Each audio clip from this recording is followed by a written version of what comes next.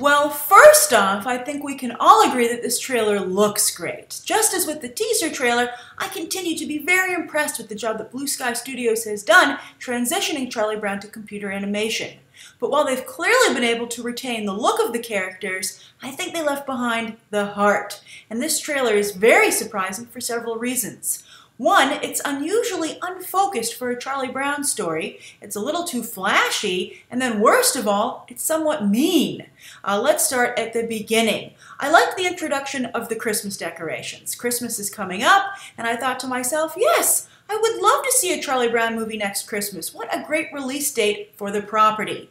But then they never went anywhere with the Christmas decorations. They literally left them behind as Snoopy flew off for his dogfight. Uh, and then that was another problem. This is where the flashiness comes in. Uh, previously, we've always just you know, imagined Snoopy's dog fights along with Snoopy, and you know they just added sound effects. And I'm sure that the directors here at Blue Sky for the film felt they were doing something good, being like, well, with today's animation and the budget that we have, we can actually show you the dog fights. We can take Snoopy to Paris. But it didn't work. Instead, it just kind of took me out of the whole thing, and it made me forget that he was, you know, imagining it. Actually, actually my big takeaway for the, the dog fight was how cute his little fuzzy hands looked looked when he made the binoculars. I was like, I can see the fuzz on your, the fur on your hands, and it's adorable, Snoopy. But then I got distracted that he flew past the Eiffel Tower. I was like, I don't need to see Snoopy go around the world. That's like something we see in, you know, Smurfs and other properties, and I think that those played out very quickly. Uh, Snoopy is timeless. Charlie Brown is timeless because it's very grounded, literally. So to, so to do this and to go in this direction to me seems too much, and I think actually harmful to the story and the character.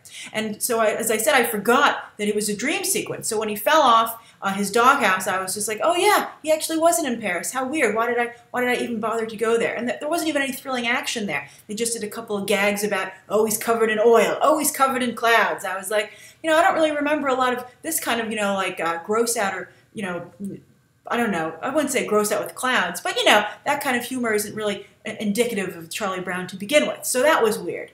Uh, but then I was really shocked when he used Woodstock to complete the circuit for the Christmas lights to turn them all on. I was like, I don't think I've ever seen Snoopy do something like that. He just electrocuted one of his buddies. I mean, Lucy is supposed to be the mean character here, and to see Snoopy do that was just it really it really threw me off. The thing I did like though at the, was at the very end when Charlie Brown came in with his popcorn. That was classic Charlie Brown, and I thought it was really nicely done. I loved seeing his little round head, uh, you know, in the projector light. I just think everything there was perfect, and that was classic Charlie Brown. But the whole beginning of it just seemed too modernized, a little too crass, uh, and as I said, unfocused. Charlie Brown, the reason these specials play so well every year is that they have a great message behind them. These are message movies. Uh, they have heart, and uh, you know they take their time telling their story, which is uh, you know, it's a little episodic sometimes, but there's definitely a through line. And this, as I said again, was just all over the place. And the meanness, I didn't like the meanness. So I'm curious to what you think. Is this your Charlie Brown?